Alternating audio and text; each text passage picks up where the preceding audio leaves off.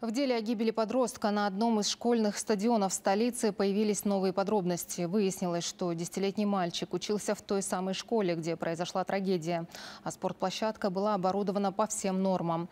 Об этом сообщили в администрации образовательного учреждения. Напомню, накануне учащегося насмерть придавили футбольные ворота. Хронология происшествия в репортаже Мира Альжановой.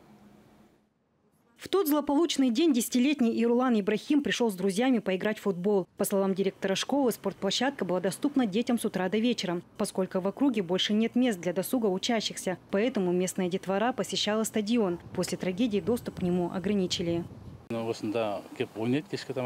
Когда он играл в футбол, то потянул за сетку ворот, и они упали на него. Дети, которые играли вместе с ним, а также охранник школы, пытались ему помочь и оказать первую медицинскую помощь. Но, к сожалению, ребенок скончался до приезда бригады скорой помощи. Мы выражаем искренние слова соболезнования его семье.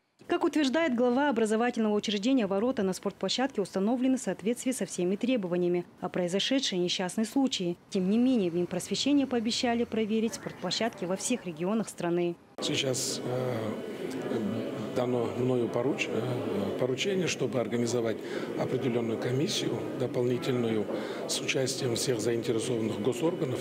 Не только министерство, но и все специалисты должны еще раз посмотреть не только просто готовность э, школ к учебному году, но и мы сейчас проверяем безопасность внутри школы, а сейчас появилась еще дополнительная потребность посмотреть, какие есть э, дополнительные опасности, э, подвергающие жизнь наших детей. По факту гибели подростков полиции начали расследование. По результатам следователи определят подозреваемых.